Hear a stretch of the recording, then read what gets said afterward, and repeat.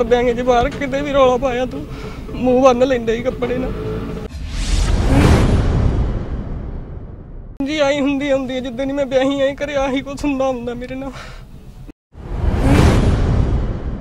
ਕਈ ਰਿਸ਼ਤਿਆਂ 'ਚ ਹੁਣ ਪਿਆਰ ਨਹੀਂ, ਬਲਕਿ ਹੈਵਾਨੀਅਤ ਝਲਕਦੀ ਹੈ। ਜਿਨ੍ਹਾਂ ਰਿਸ਼ਤਿਆਂ ਨੂੰ ਕਦੀ ਪਿਆਰ ਅਤੇ ਨੋਕ-ਝੋਕ ਦਾ ਪ੍ਰਤੀਕ ਮੰਨਿਆ ਜਾਂਦਾ ਸੀ, ਉਹ ਰਿਸ਼ਤੇ ਅੱਜ ਪਿਆਰ ਦੇ ਨਾਂ ਉੱਤੇ ਕਲੰਕ ਬਣ ਗਏ ਨੇ। ਕੁਝ ਇਸੇ ਤਰ੍ਹਾਂ ਦਿਓਰ ਪਰਜਾਈ ਦੇ ਰਿਸ਼ਤੇ ਨੂੰ ਦਾਗਦਾਰ ਕੀਤਾ, ਬਰਨਾਲਾ 'ਚ ਇੱਕ ਦਰਿੰਦੇ ਦਿਓਰ ਨੇ।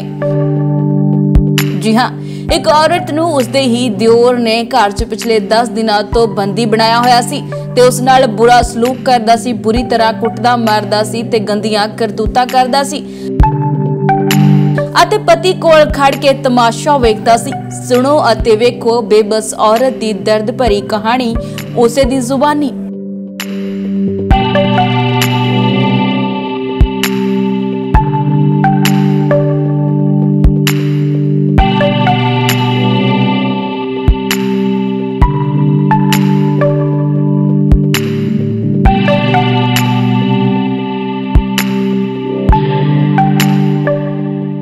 ਆਪਦੇ ਸਹੁਰੇ ਘਰ ਰਹਿੰਦੀ ਸੀ ਜੀ ਮੇਰੇ ਦਿਓਰ ਨੇ ਕੀਤਾ ਹੀ ਬੰਦ।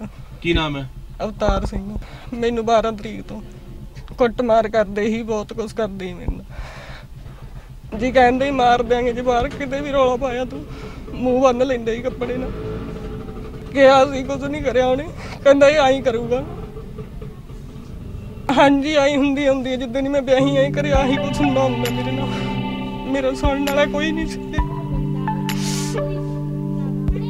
ਮੈਂ ਬਹੁਤ ਵਧੀਆ ਮੰਨਦੀ ਹਾਂ ਮੈਂ ਧੰਨਵਾਦੀ ਹਾਂ ਮੈਂ ਜਿਹੜੇ ਮੈਨੂੰ ਛਡਾ ਕੇ ਲੈ ਚੱਲੇ ਨਹੀਂ ਮੈਨੂੰ ਮਾਰ ਦਿੰਦੇ ਅੰਦਰ ਹੀ ਮੈਂ ਤਾਂ ਇਹਨਾਂ ਤੋਂ ਤਲਾਕ ਮੰਗਦੀ ਮੈਂ ਕੁਝ ਨਹੀਂ ਮੰਗਦੀ ਮੈਂ ਨਹੀਂ ਇਹਨਾਂ ਦੀ ਹੋਣਾ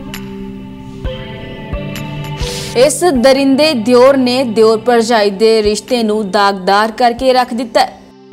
ਜਿਸ ਰਿਸ਼ਤੇ ਨੂੰ ਕਦੇ ਨੋਕ-ਝੋਕ ਦਾ ਪ੍ਰਤੀਕ ਮੰਨਿਆ ਜਾਂਦਾ ਸੀ ਅੱਜ ਉਸ ਰਿਸ਼ਤੇ ਨੂੰ ਇਸ ਦਰਿੰਦੇ ਨੇ ਜਲੀਲ ਕਰਕੇ ਰੱਖ ਦਿੱਤਾ। ਇੱਕ ਕਾਲ ਸਕੀਵਨ ਸੈਂਟਰ ਤੋਂ ਆਈ, ਜਿਨ੍ਹਾਂ ਨੇ ਦੱਸਿਆ ਕਿ ਰਾਜਵੀਰ ਕੌਰ ਨੂੰ ਉਸਦੇ ਘਰੇ ਸੰਧੂਪੱਤੀ ਵਿਖੇ ਬੰਦੀ ਬਣਾ ਕੇ ਰੱਖਿਆ ਗਿਆ ਹੈਗਾ ਆ।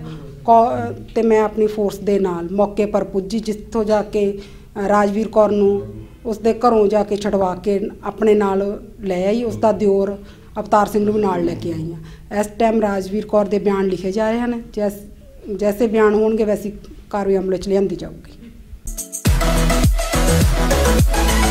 ਚੱਕਦੇ ਟੀਵੀ ਨਾਲ ਜੁੜੇ ਰਹਿਣ ਲਈ ਸਾਡਾ ਚੈਨਲ ਸਬਸਕ੍ਰਾਈਬ ਕਰੋ।